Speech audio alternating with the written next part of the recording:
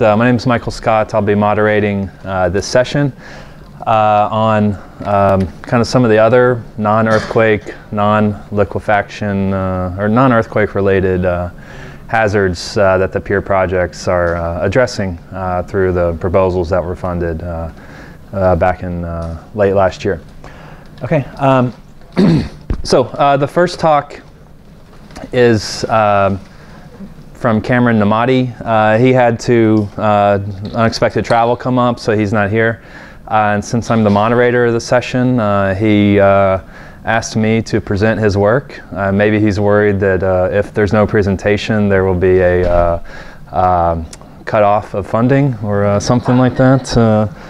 so I'll I'll do my best to um, talk about something that I only heard about yesterday.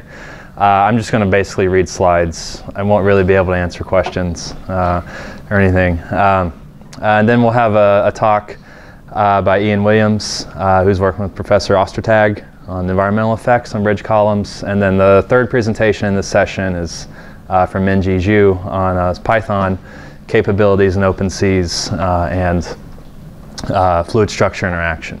Okay. So on behalf of Kamran uh, and Alessandro Fantilli.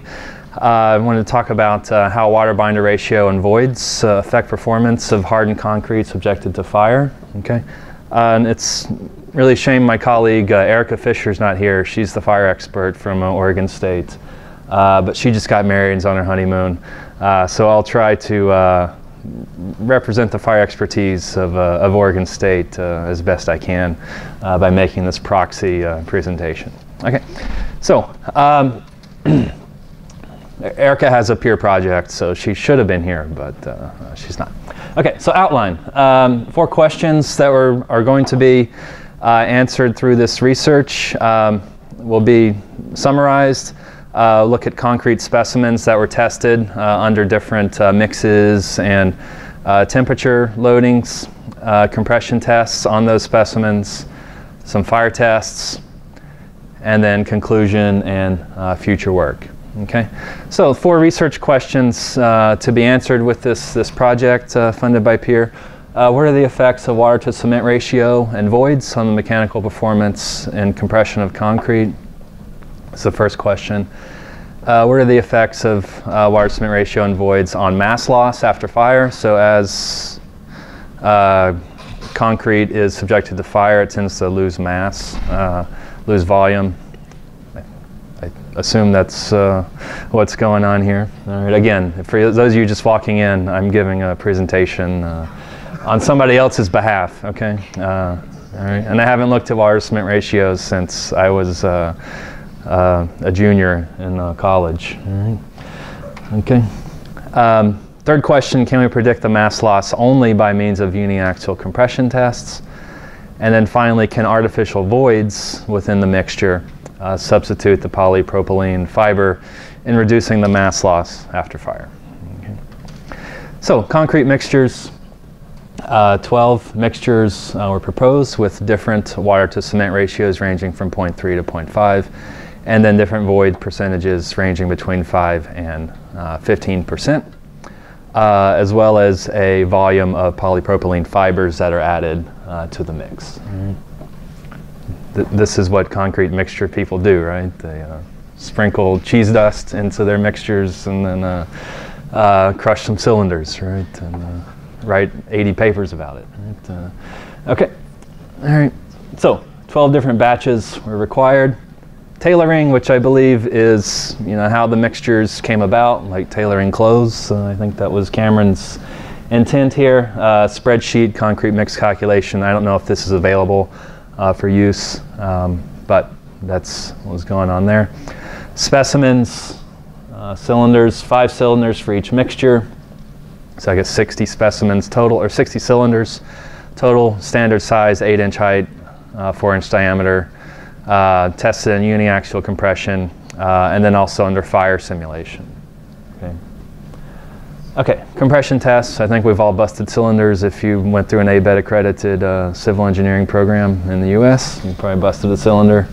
All right, but uh, you measure, take the force, divide by the area, uh, you get the um, stress strain behavior and compression.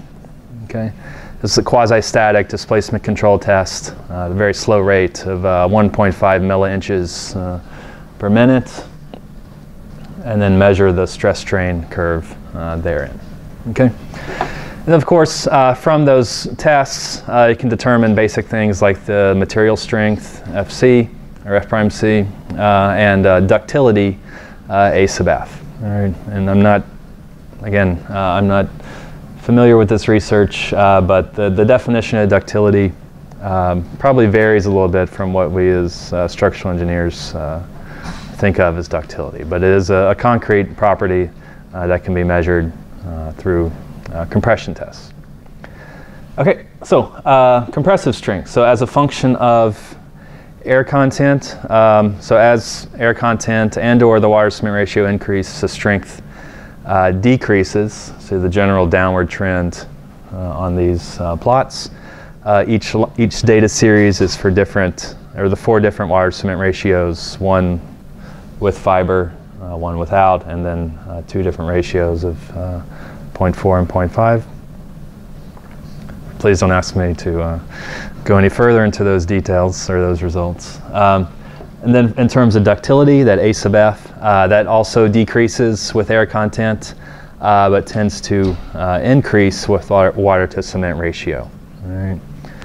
Um, and then some similar behaviors uh, for uh, WC 0.3 with fibers and W over C 0.4, uh, of course, without fibers. So these results were intended to answer the, the first question, um, you know, what were the effects of water cement ratio and voids?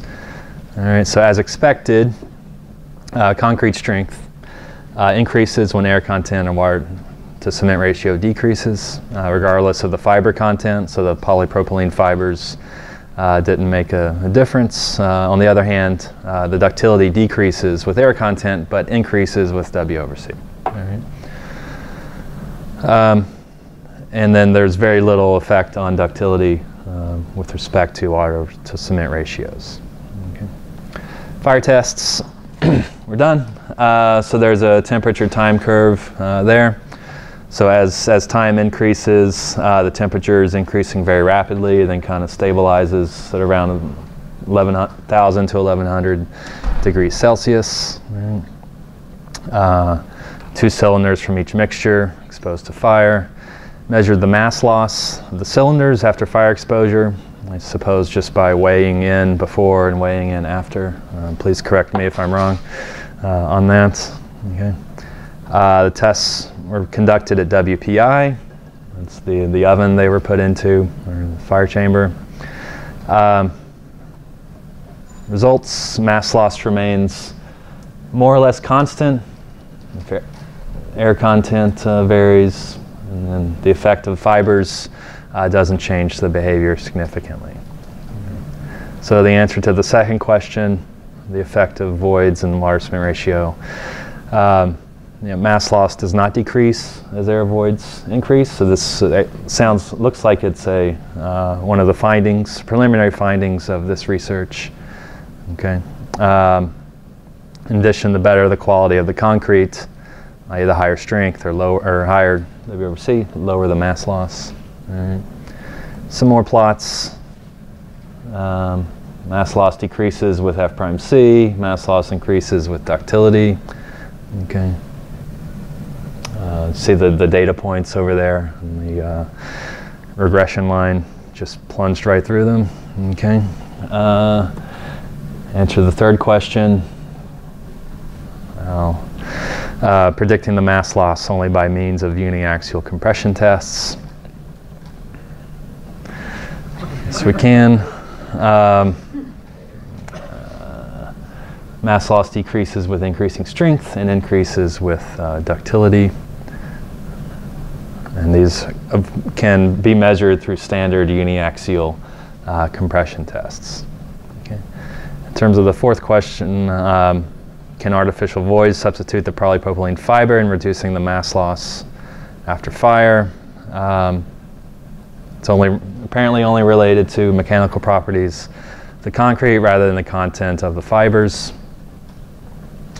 And I'm not sure here, the best concrete should have the highest strength and the lowest uh, ductility. Uh, and we could probably spend the rest of the day talking about what's the best concrete uh, uh in this room, but uh, that was one of the, uh, the answers to the, the questions. So future work, those are preliminary findings. future work deals with you know, further uniaxial compression tests, and then of course going from lab scale specimens in the lab to testing on or performing some kind of in situ test uh, on uh, full scale structures. Um, so, um, yeah, I think that's that's it. Uh, I won't be able to answer any real questions unless it's clerical. Um, but again, uh, Cam Kamran wanted me to emphasize that uh, the the findings uh, are good. You know, some things contrary to what was expected, but also very still very preliminary. Uh, so um, you know, not not definitive yet, but uh, the, the, future work should address uh, resolving uh, further resolving and clarifying those findings. Okay. okay so any any questions? Uh?